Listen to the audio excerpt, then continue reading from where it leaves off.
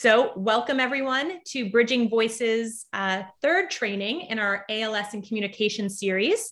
Um, the session today is going to focus on ALS and alternate access. This is uh, part one of a two training series, so you can stay tuned for part two. Uh, next slide. Uh, the agenda today is pretty straightforward. I am going to give a brief introduction to Bridging Voice. Um, many of you on the call are already familiar with the organization, but I see a few new names. Um, and then after my brief interview, uh, brief overview, I will hand it off to Eddie Ehrlich, our presenter today, who will dive into today's topic of alternate access. Um, and then we're going to save a nice chunk of time at the end for uh, Q&A. So it should be a good should be a good session today. Uh, next slide. Great. So my name is Karina. I'm the executive director of Bridging Voice. And Bridging Voice, uh, for those of you who aren't familiar with us, we are a nonprofit um, and we are focused. Oops, sorry. Just I'm going to ask a few more people to mute themselves here. Thank you. Okay. Um, so Bridging Voice is a nonprofit that supports ALS patients by providing holistic support for all of their technology needs related to communication and alternate access. So we're very specific. Uh, the reason we were created is that our team saw an issue of ALS patients either not getting the technology they needed, um, and even when they did get it, um, it wasn't being fully utilized. And often we saw this issue of technology abandonment. So, our goal as an organization and as a team is to ensure that every ALS patient has access to the support they need to access their technology and to be able to communicate. Um, all of our services that we provide are done remotely. Uh, so that's why we work with people all over the country. And we have such a great mix on the call today. Um, and all of our services are also provided free of charge. Uh, next slide. Um, this is just a brief overview of um, the, the uh, services that we provide. As I mentioned, it's very holistic. So it's everything from providing education and resources um, to help ALS patients or PALS understand what technology might be right for them. We provide training and ongoing support um, for that technology. Uh, we also create customized solutions to make sure that the technology is working for every PAL's individual needs. Um, and then lastly, we uh, create innovations. So our team, um, our incredible group of, uh, of professionals uh, with a lot of tech background. So they're, they're constantly creating um, really awesome innovations that help make PAL's life easier. And our job as an organization is to help share those with the widest community possible, all free of charge. Uh, next slide. Yep, I just love maps. So this is a map of uh, the, the area where we're currently supporting PALS. Um, as of to, as of yesterday, we were supporting, um, we've supported over 992 PALs uh, across 46 states. So since our services are provided remotely, we're able to work with um, families all across the United States and growing every day, hoping to hit a thousand by the end of the year. uh, next slide. Great. I just want to just flag um, our New Jersey initiative. This is our very first statewide initiative um, that we're very excited about. Um, this initiative allows us to provide all of our services to every single ALS patient in the state of New Jersey free of charge. So uh, we're asking all of you to help us spread the word. We want to make sure that um, pals across New Jersey know about this. So if you're a New Jersey pal, um, if you work with pals in New Jersey, please have them check out our dedicated website, newjersey.bridgingvoice.org. There is a short sign up form there. It takes two minutes and they can sign up and then they will hear directly from our team um, to provide uh, whatever support that they need. Next slide. Okay, that ends the uh, overview of Bridging Voice. Now it is my pleasure to hand this off to my colleague, Eddie Ehrlich, who is our assistive technology specialist. And he is definitely the alternate access guru on our team. Um, and I am excited to hand over the presentation to Eddie. All yours.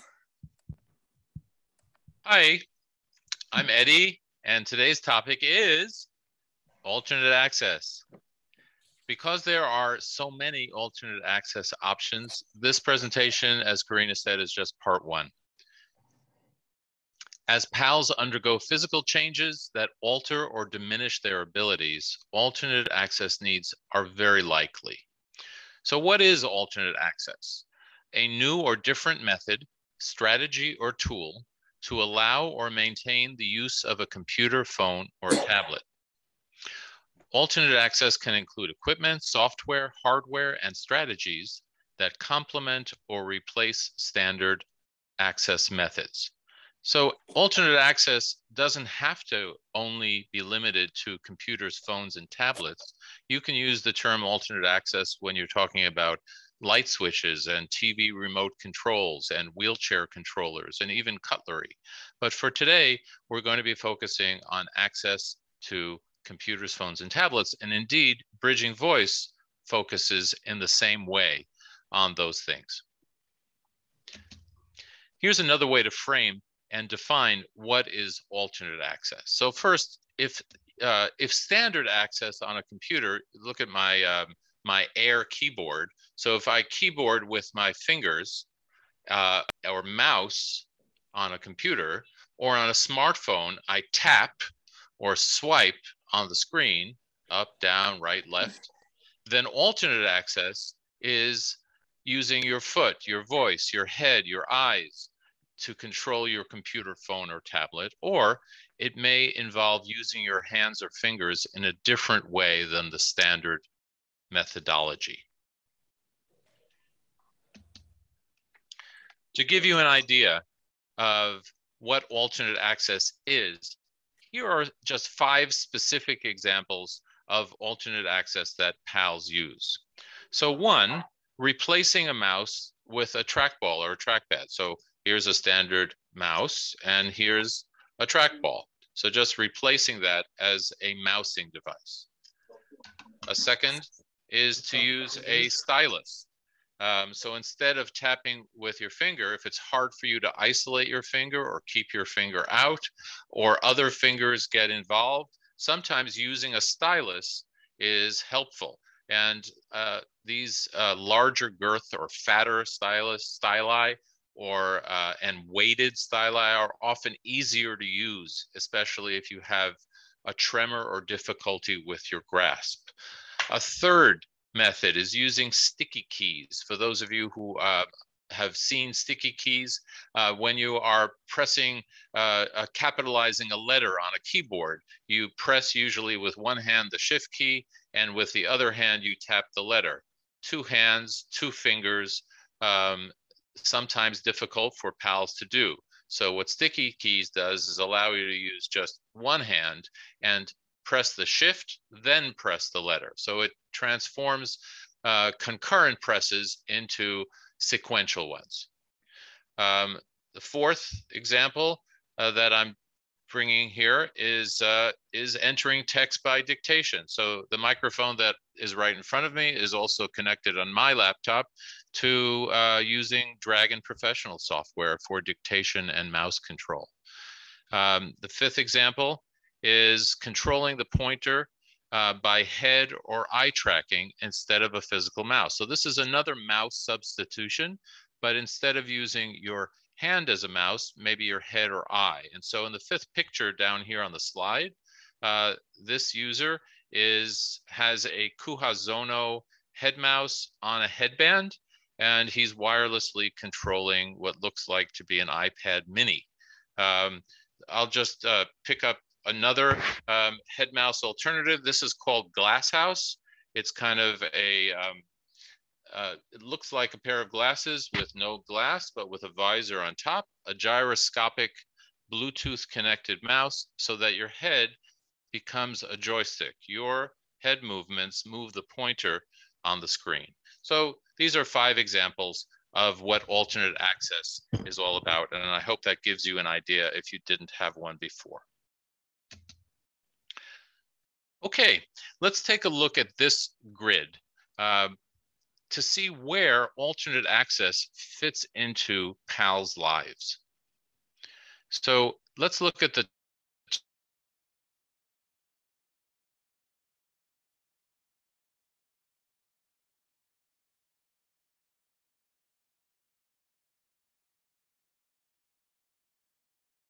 range and dexterity and weakening we can roughly divide a PALS access uh, and communication journey into four quadrants. Uh, if there are PAL, I know that there are PALs and caregivers on this call, so consider your voice and your hand function. Can you locate yourself on this map? What general stage or quadrant are you in?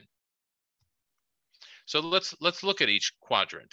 When someone has in quadrant one labeled one, when someone has both uh, voice intelligibility and their hand function is strong, it's time to get information about future options and consider the voice pres preservation tools of voice and message banking. So we call that education, get informed. In quadrant two, with the decrease of voice intelligibility, it is time to consider AAC, which stands for Alternative and Augmentative Communication, to supplement the loss of natural speech. Quadrant three, with decreased hand function, there's often a need for alter alternate access, our topic for today. And quadrant four, with significant loss both of voice intelligibility and hand function, alternate access and AAC are needed together. So I want you to please note that Bridging Voice supports PALS in all these four stages. And as you pass from one stage or quadrant to another, we will help assess and evaluate what you need.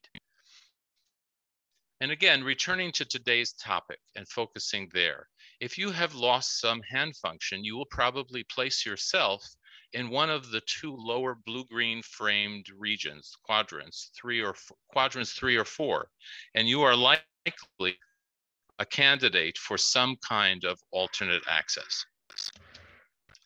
Here's that same map again with the four general quadrants numbered again, one, two, three, four, but with a listing of some of the tools and devices and strategies in each quadrant or stage.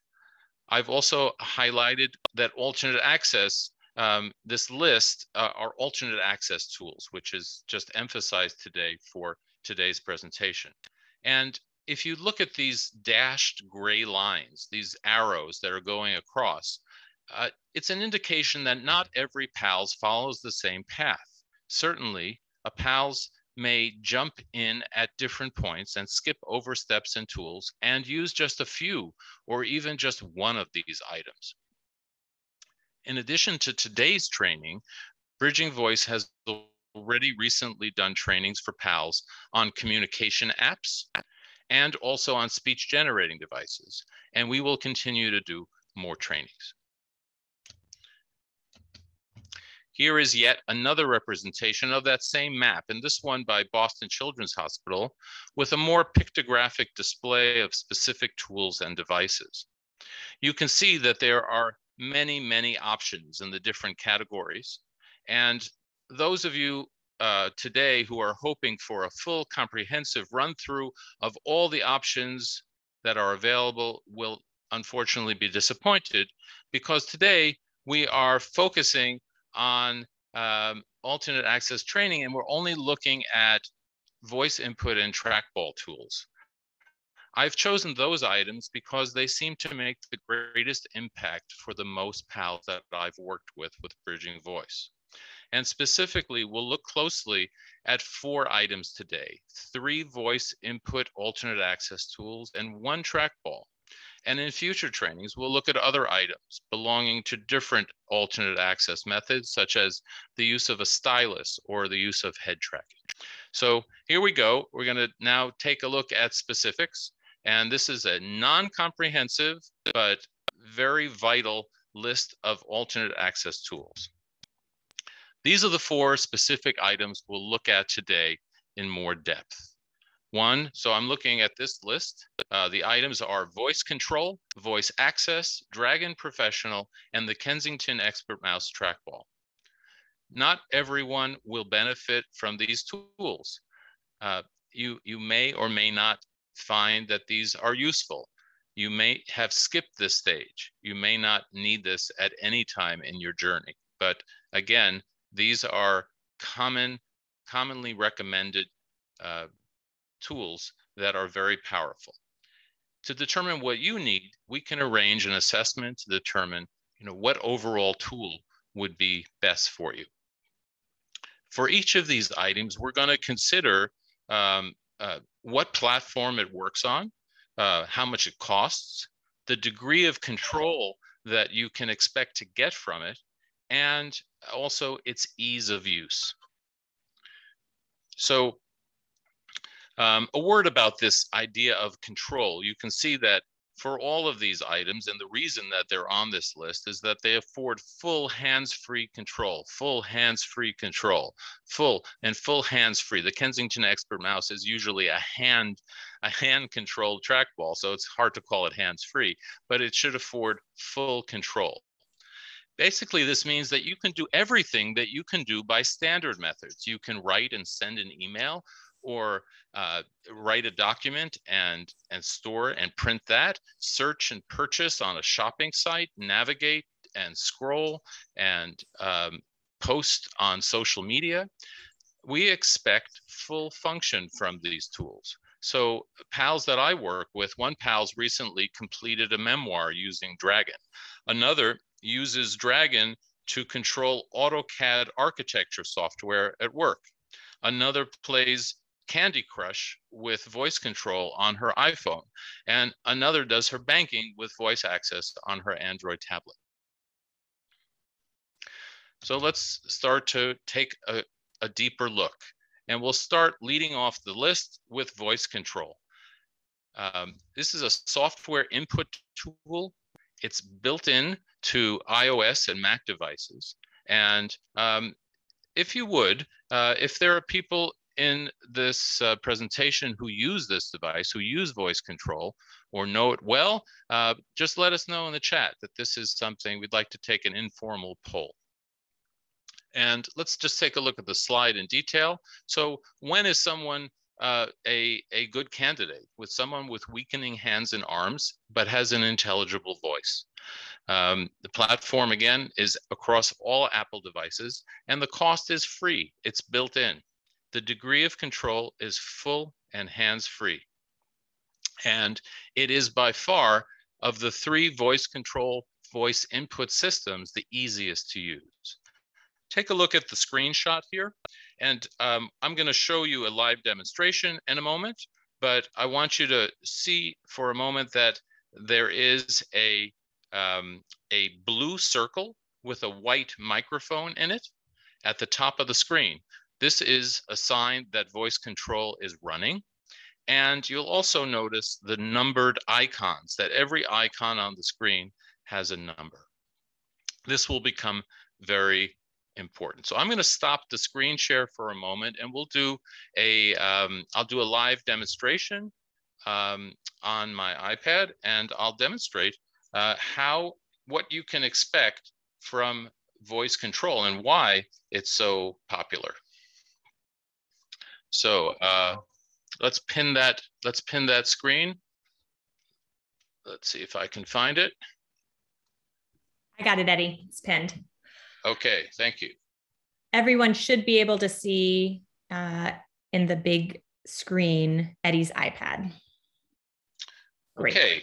Um, so uh, I, I noted for you before that um, we would expect with voice control running that there would be a blue microphone, uh, a blue circle in the top, but you'll notice that it's not there. So I need to issue the command to wake up that microphone. And the command is wake up. And there's the blue microphone and all the numbers have appeared on the screen. I can control that microphone again with go to sleep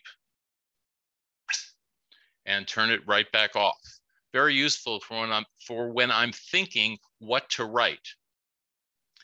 Wake up. Swipe left. Swipe right. So simple navigation is terrific. And notice that the microphone stays on. I can keep talking. What I call voice control a very well-behaved piece of voice input software. It doesn't really make errors and uh, activate on, on speech. It really does a good job of, of knowing when a command is isolated. Let's go to um, podcasts. Podcasts is down below. It's the purple icon. And you'll notice that there's a number 30 next to it. And so the command is 30. And we've opened podcasts. Scroll down. Scroll down. Alternatively, almost always the equivalent is swipe up. And a very, very helpful command, scroll to top. Scroll to top. And go home. Go home. So with most voice technology, uh, not foolproof, and you sometimes need to repeat yourself. Uh, usually the cause is that there was some background noise and that the command wasn't isolated.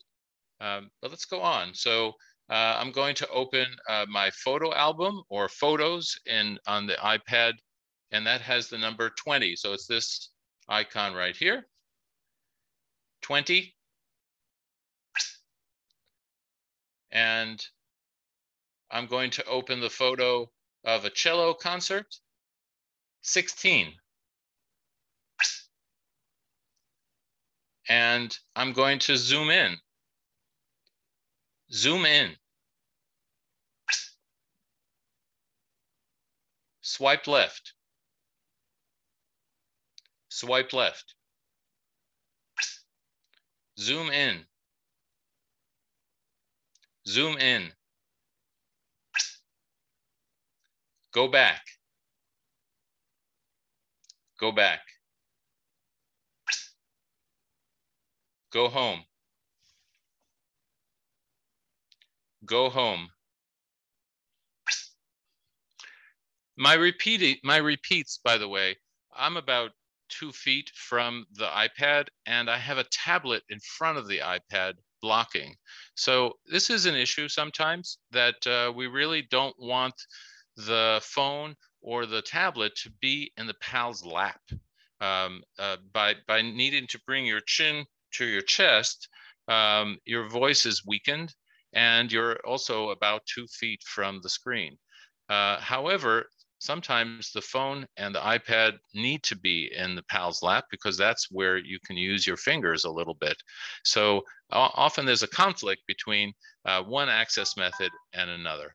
Uh, let me, the last part of this demonstration, I just wanted to do something with text entry. So I'm gonna open notes, 23 And I'm going to add a wisdom uh, to my daily list of wisdoms.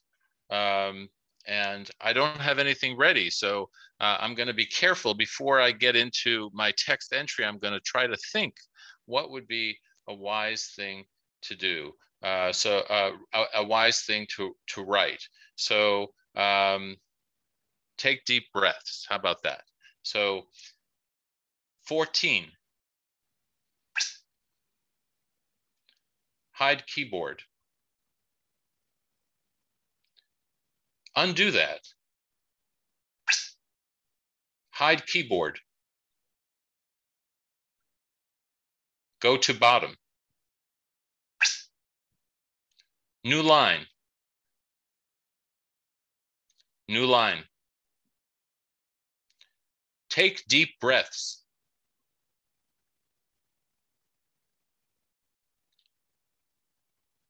Delete previous two characters. Undo that. Delete previous two characters. Delete previous two characters.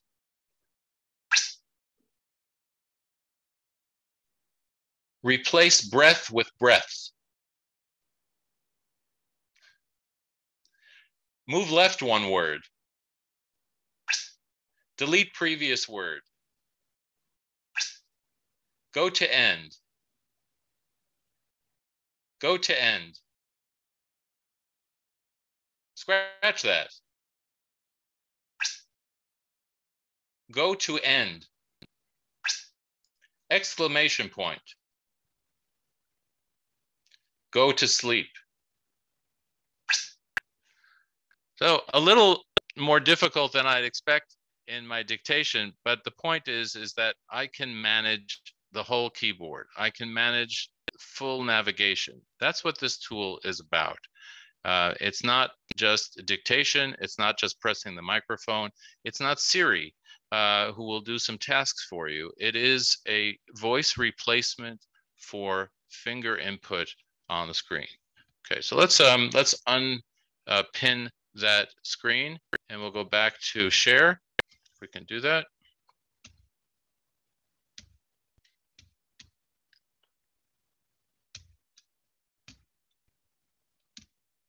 Okay, that was a lot about um, voice control. Uh, we won't spend as much time on the other uh, three devices. So the next item is the Android equivalent of voice control called voice access. Uh, and it is at the same point when you have weakening hands and arms and intelligible voice, you might consider using voice access. Once again, if you use this tool, if you use this software, let us know in the chat. The platform is Android, phones and tablets. The cost is free. It's a free download from the Play Store. It's a Google product. Um, and again, it is designed and generally gives full hands-free control. It's not quite as easy to use as voice control, but it's pretty close. If you look at the screenshot here on the right, um, you can see the item numbers, uh, just like in voice control, next to every tappable or clickable menu. And instead of a blue microphone circle, there's a, a little rainbow of color, blue, red, yellow, green, and that is a live microphone. One of the nice things in voice access is this blue microphone button that can be dragged to different areas of the screen. And so if you have some finger control and you want to tap on that, you can control the microphone that way. Turn it on, turn it off. You can also do it by mouse or trackball. Um, one of the things that I don't like about voice access is that the wake up command is not wake up like it is simply on an iPhone or an iPad. It's hey Google voice access, which is a lot longer. And there is also a delay that that happens. Um, so uh, it's not as instantaneous. And also, uh, those of you who are Android users like I am, uh, there is a lot of variety and variation across Android models and software versions. And so uh, what we uh, find out is that it works, you know, 100% on one system, but on the next system, uh, there are some commands that don't work. Uh, the third voice input software tool for today is a well-known product, Dragon, once called Dragon Naturally Speaking, now called Dragon Professional. Um, and it's the first one we're looking at today that isn't free. In fact, it's quite the opposite of free. It's uh, very pricey at $500. Um, and uh, you the built-in microphones on PCs and laptops is just not sufficient uh, for speech recognition so that an add-on microphone is needed. Um, once again, if you use this, uh, if you use Dragon, let us know. Um, we're taking an informal poll today. So uh, a word about those um, those microphones that are needed. So um, uh, I'm for PALS, it's important that someone not wear a headset microphone that needs adjustment. So um, I really recommend um, desktop microphones like the one I'm, let me just get, make sure of you my, of myself. like this gooseneck microphone is in front of my face right now. So um, it is clamped to my desk and can be maneuvered pretty easily. So if I do have some hand function, I can move it into place. And uh, the great thing about it is that it doesn't require any charging or any pairing. It's not a wireless mic. It's a desktop based wired microphone. So it's a plug and play. So the long reach the non-charging and pairing and not worn, but rather being a desk, a desk mounted microphone is usually what I recommend. So, and, and in unusual cases, of course, there are reasons why someone really wants to wear a microphone. So if they're, um, if getting into the same position every time is difficult, and sometimes you're on this side, sometimes you're on that side, then um, the microphone being static is maybe not the best idea and maybe wearing a microphone is best.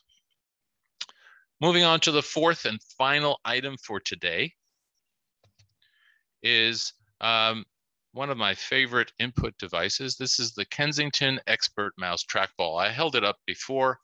Uh, this is what it looks like in, uh, in, in real life, if you will. Um, and again, if you use this, let me know in the chat. Um, so this is a, a mechanical mouse alternative. So um, there are lots of people who use um, trackballs, trackballs of all different kinds.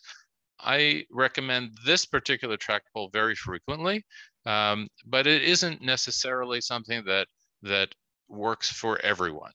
Um, the nice things about uh, a trackball, well, let me just first explain for those of you who have not used the trackball, if you remember, a standard mice, mouse used to have a ball at the bottom before um, it was an optical mouse. There was a ball that used to collect dust on the bottom of, of a mouse. Um, and some very intelligent person with a messy desk said, um, well, why don't I just uh, turn the mouse over? So the ball used to be on the bottom, right? Just turn the mouse over and I'll move the ball, um, you know, and I won't need to clear an area on my desk. I'll just move the ball, you know, how, however it needs to be moved.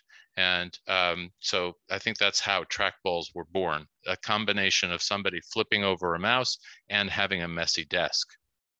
So um, this particular trackball, uh, the large ball, this large ball can be operated by um, any part of your hand. So if your hand is fisted, right, if you have no finger isolation, so despite the picture on the slide, this can be operated with the side of your hand, with a fisted hand, with two fingers together, with a thumb, um, to move the ball. Some people even use the heel of their hand or the wrist right? So it's about getting that ball in motion.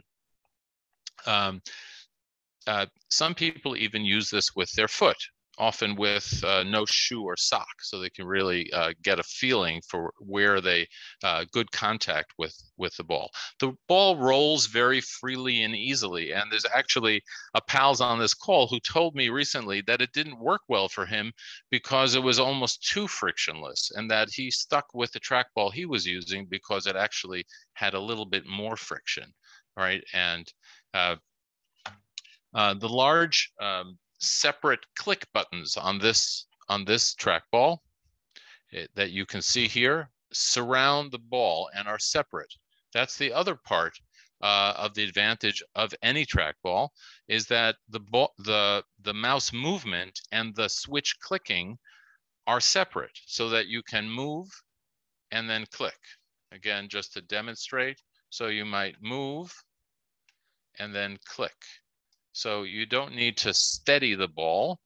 You need to get to the target and then click, or maybe your click is on this side or maybe on that side. The buttons are programmable. This particular trackball um, is wireless. It's from a reputable company, Kensington. We don't get any commissions.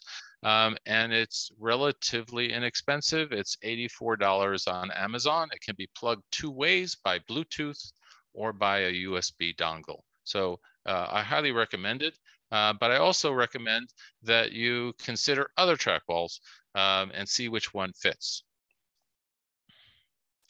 Last thing about it is that it can sit anywhere. So um, sitting on a desk, but also sitting on your leg. again, that lap area for PALS is kind of the sweet spot for access. It's where people end up putting their phones, tablets. It's near where the joystick is on the wheelchair. Um, and so the trackball often sits right there on a pillow, on a lap tray, or directly on your thigh.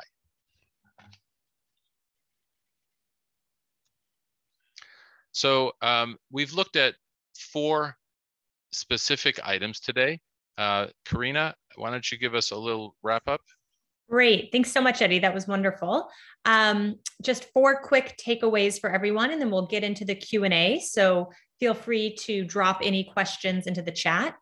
Um, first takeaway is that there are a lot of options for alternate access, as Eddie mentioned. Um, this, again, is just part one of our alternate access training. There will be a part two where we'll dive into more. Uh, it's important that PALs find what's right for you when it's right for you. Timing is everything. Um, and that's one of the reasons that Bridging Voice is here to help, to help you understand the technologies that exist and help find the one that is right for you when it is right for you. Um, lastly, I just wanted everyone to know that we will be sharing the recording as well as a handout, a couple of the slides that um, Eddie shared uh, in a follow up email, um, along with a link to uh, sign up for any future trainings. We, um, as I mentioned, this is uh, the third training in our a in our uh, ALS and communication series. Um, and we've gotten really good feedback. So we're planning to continue them in 2022. Um, so if you're interested in being updated on uh, those future trainings, we'll send a link out in the follow up email as well. Um, but now we're going to jump into our Q&A. So please, if anyone has any questions or comments that they want to share, please drop them into the chat. Um, again, Eddie is sharing sort of the four alternate access uh, methods or um, uh, topics that he covered today voice control, voice access, Dragon Professional, and the Kensington Mouse. So, if anyone has any questions about any of those, I already had a few coming in. Um, we'll jump into that. And then just letting everyone know if you have questions uh, for Bridging Voice, please reach out to us at info at bridgingvoice.org. We have our website. We also have the sign up for New Jersey PALS. Um, so all of that information is on the screen as well. Um, I'm going to start, Eddie, with a question uh, that came in when you were talking about voice control. And the question was, how flexible is the voice control with phrasing of commands? Um, so voice control and voice access both, both on iOS and Android are not trainable. So they don't learn from speaking patterns. So I guess inherent in the question is how flexible is the software? So the first thing I just want to say is that you can't change the software. It is what it is. So you, you have to adapt to its limitations. Um, so phrasing, in general, the um, commands need to be run together in all voice input uh, methods, uh, a command like uh, you know go to home screen or swipe up three, right, need to be run together in order to not be understood as text, but to be understood as commands. What I like about voice control is that uh, the commands can be very short. So uh, those of you who have like uh, Amazon Echo devices that you might, you know, sometimes the, the commands can get quite lengthy um, because there is no screen for on most of those devices. Um, and so you have to compensate by giving all kinds of information in the command. In voice control, you can do step by step. So you can just say number and then another number and then another number. So so uh, phrasing sometimes is not important because the commands are quite short. Great. Um, Kara says that this was very helpful. Thank you, Kara. Always glad to hear that. Um, and she had no idea about the Android equivalent for voice control. So glad we covered that. Uh, she asks if you have any info about the built in Windows voice control on PCs. Right? So this is a, a, common question because built-in voice control on PCs is free. It's the free equivalent, and so it just has, uh, and it is it is viable, but it has two problems. One, the recognition is not as good as Dragon Professional. So particularly for for different uh, differently spoken um, speech. So I, I, mean different from whatever the standard is. So anything non-standard, and that might be, um, you know, accented English according to their definition, or change in voice related to ALS. So it's typically not as flexible. And then it has also trouble with uh, full hands free. There are just different quirks and blocks that make it um, less effective to using fully hands-free. It is a doable product. Uh, it is possible, um, but uh, again, I chose to to highlight what I thought was the most effective product, despite the five the five hundred dollar price tag. By the way, I didn't mention that there are grants available for Dragon professional software. So, um, particularly for people who are working who are working on Windows computers and really need to be on a computer, um, there, there are grants that are available to get that software for free. Great. Um, and then another question um, uh, about Dragon. Uh, how long does it take to learn and get up and running? It's uh, very subjective. So Dragon has um, has the most complicated uh, command set of the three. So voice control has uh, about 300 commands. Dragon has more than a thousand. Uh, so there are, there are just, and I would say that the difference is not so much in the software, but in the platform. We're, we're very used to phones just being more simplified. And so we go directly to an app and we go directly to a very limited menu, as opposed to on a computer, we have all kinds of Windows management issues that we have to do. Things aren't automatically saved very often. Um, you know, we we have things that have multiple panes. If you look at a uh, pane, I mean that in both both senses of the word, P-A-N-E and P-A-I-N. Uh, if you're looking at email, you have your inbox and you have your your list of emails, and then you have your preview list. So on a phone, you have a list of emails. If you open it, you open it.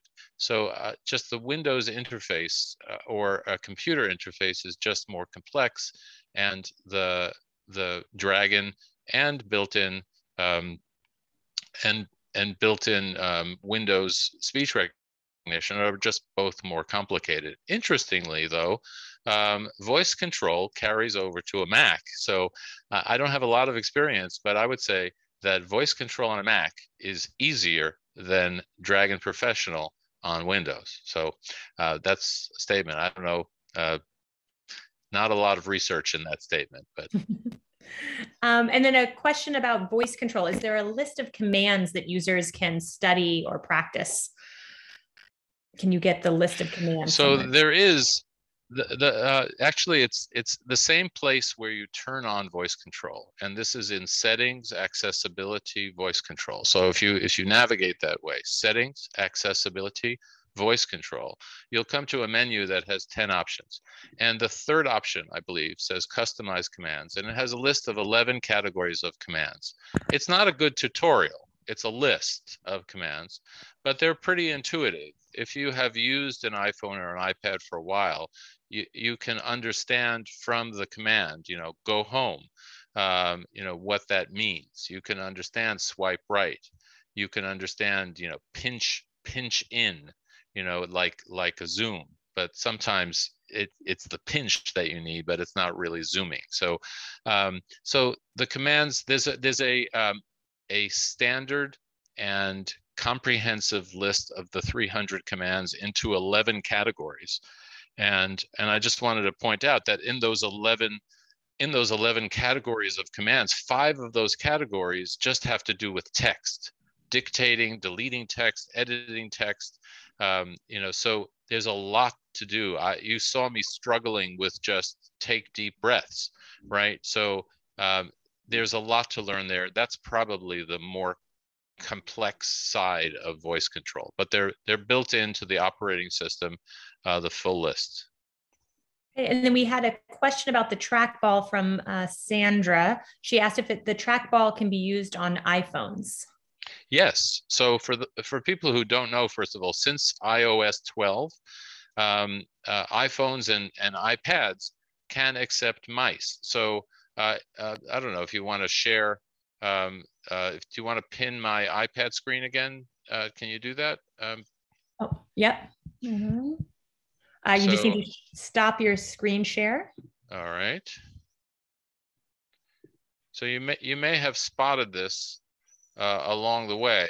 So for those of you who don't know, um, uh, that circle that's moving across the screen in some sort of choppy way is the mouse pointer that is associated with iOS 12 and above.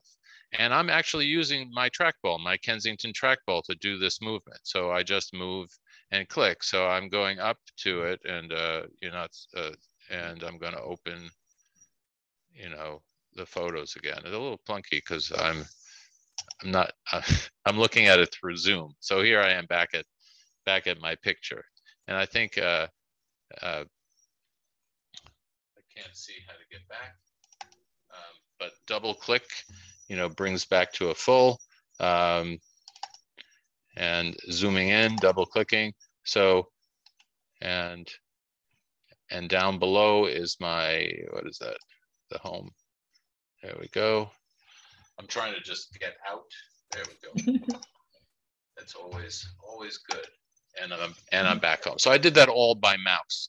And so yes, to mouse in general, and definitely to the Kensington track. So you would do that by a Bluetooth connection, or you can do it actually by a USB dongle, but you need the USB adapter for an iPad, iPhone, if you want to use that that way.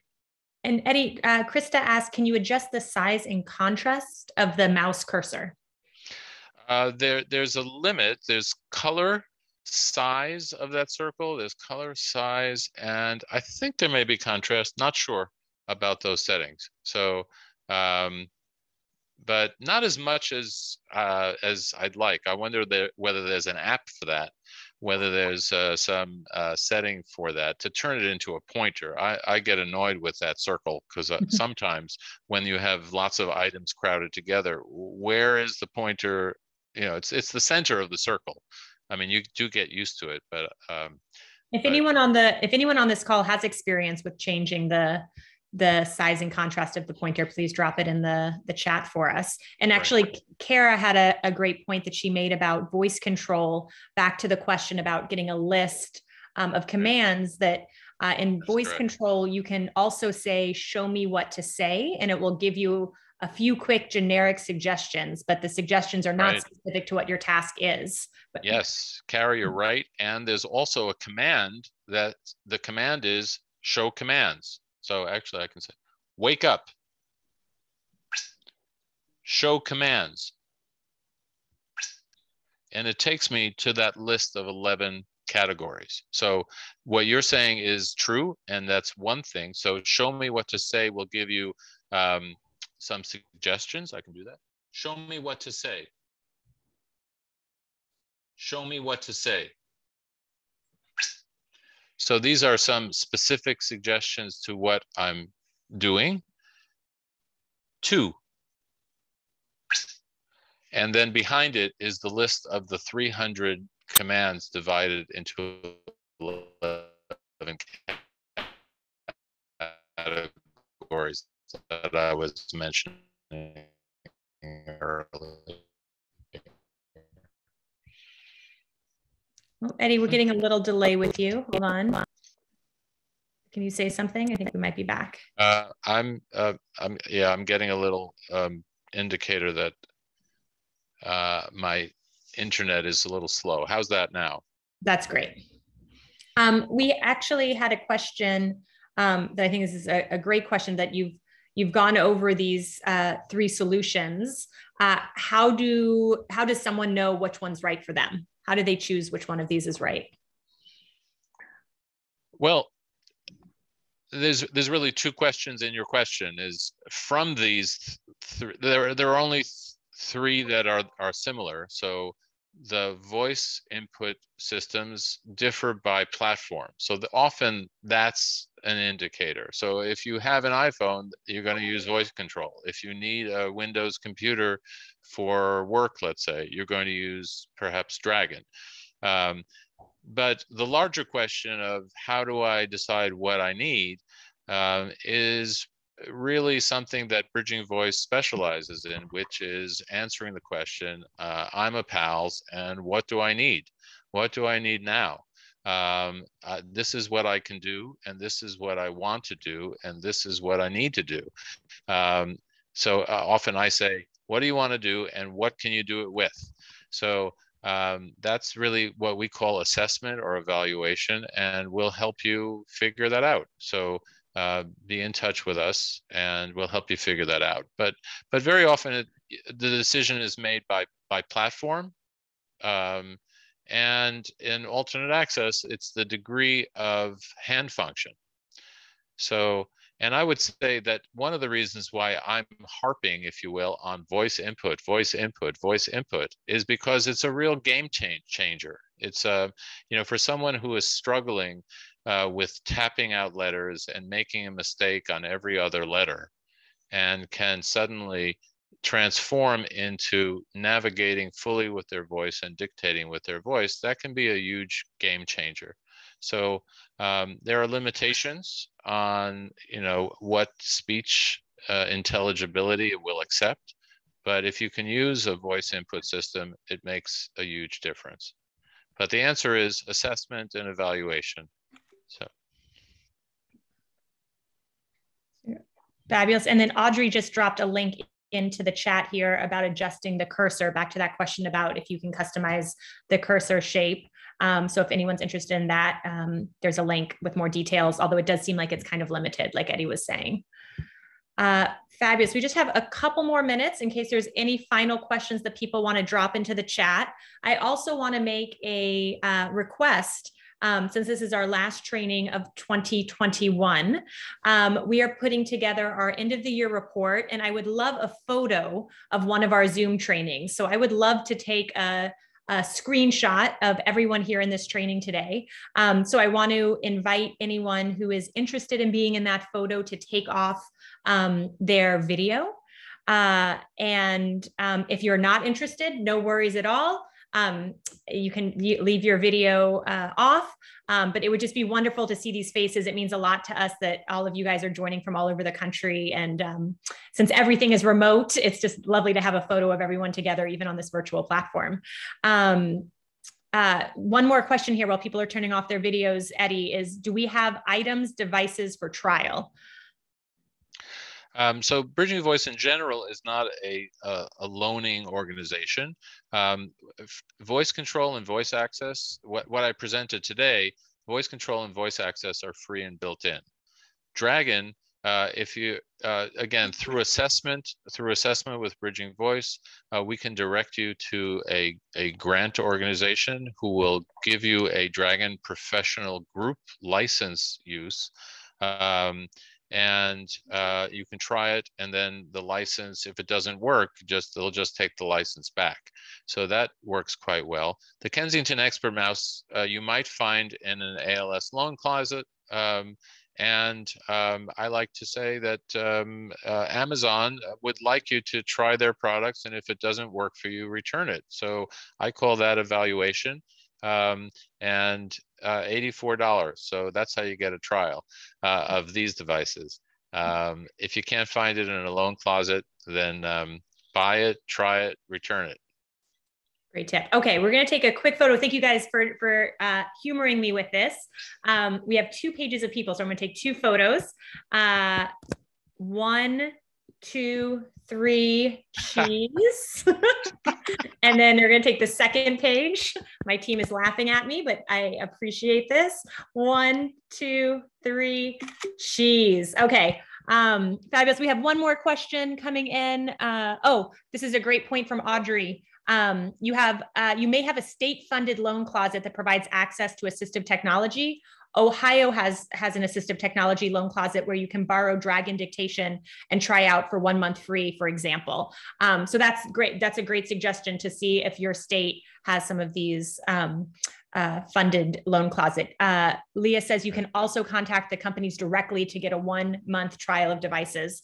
Also, feel free to contact Bridging Voice. We're always help, happy to help connect you to our um, partners and point you in the right direction. Um, I think we are right at time. So Eddie, thank you for that wonderful presentation. Um, it's a great way to end uh, our 2021 training series. Um, and there will be more of these in the future. Thank you to all of you for joining us. Reach out to us if we can be of uh, service to you at all. Um, we will be sending a follow-up email with the link to this recording. And uh, since we, if we don't see you before then or talk to you before then, have a happy and wonderful holidays and new year. And um, we'll see you next time. Bye.